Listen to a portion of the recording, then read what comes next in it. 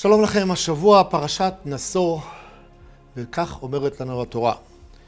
וידבר השם אל משה לאמור, דבר אל בני ישראל, איש או אישה, כי יעשו מכל חטאי סעודום, לימו ילמל בהשם ואשמה הנפש ההיא. כאשר אדם חוטא, מביא קורבן, מביא קורבן להשם.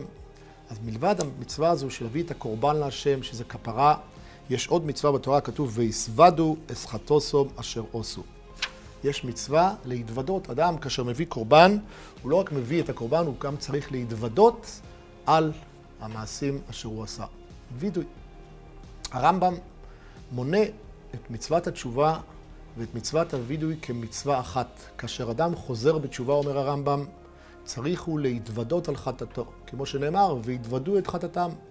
דהיינו שהרמב"ם לומד שמצוות תשובה, שיש מצווה ליהודי לחזור בתשובה, ושבת את השם אלוקיך, זו מצווה שאם לא עשו בה וידוי, חסר חלק מהמצווה. האדם חוזר בתשובה, הוא מתחרט על העבר, הוא חוזר בו על מה שהוא עשה על העבר, וגם הוא מקבל על עצמו לעתיד, אבל לא די בכך. הוא צריך פשוט לעמוד ולפרט את החטא. מצוות וידוי, הכוונה היא לעמוד ולהתוודות על החטא שהוא עשה. יש שאלה מעניינת ששואלים, אחרונים שואלים שאלה, יש גמרא מעניינת במסכת קידושין. כאשר אדם מקדש את האישה, הוא אומר לה, על מנת שאני צדיק. הוא אומר לאישה, אני מקדש אותך על תנאי שאני צדיק. בסוף התברר שהוא לא כל כך צדיק, התברר שהוא היה רשע. כתוב בגמרא שהיא מקודשת, ספק מקודשת לכל הפחות. למה? שמא הרהר בתשובה. אולי באותו רגע, כשהוא אמר לאישה, אני מקדש אותך על מנת שאהיה צדיק, אולי באותו רגע הוא חזר בתשובה. ואז יש פה לכל הפחות ספק אם האישה הזו מקודשת או לא. ושואלים האחרונים שאלה, הרי הרמב"ם אומר, שבשביל לעשות תשובה צריכים להתוודות על החטא, איפה היה פה וידוי? הוא רק אמר על מנת שאני צדיק. ייתכן שהוא ערער בלב, הוא חזר בתשובה בלב, שמא ערער בתשובה.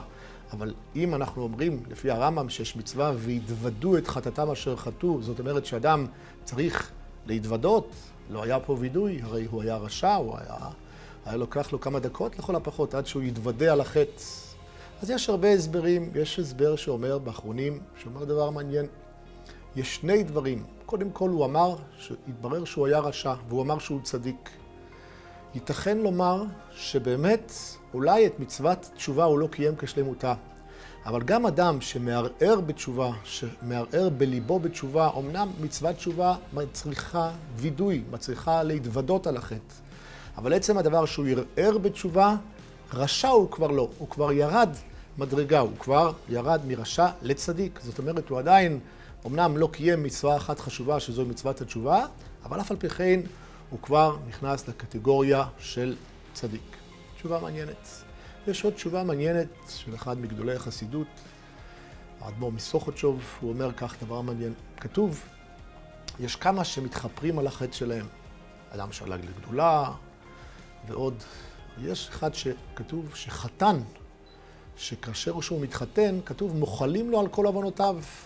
אז הוא אומר בדרך פלפול, אומר ככה, הרי ברגע שהוא אמר על מנת שאני צדיק והיא מסכימה להתחתן, באותו רגע נמחלו לו עוונותיו. אז הוא אומר, ייתכן שבגלל זה כבר אין פה בעיה, אז הוא כבר צדיק, משום שבאמת העבירות שלו נמחלו. אבל זה גם חידוש גדול, שבאמת נמחלים לו על עוונותיו בלי שהוא בעצם עשה וידוי, אבל בגמרא הרי זה כתוב שאדם שנתעלה לגדולה, נמחלים לו עוונותיו.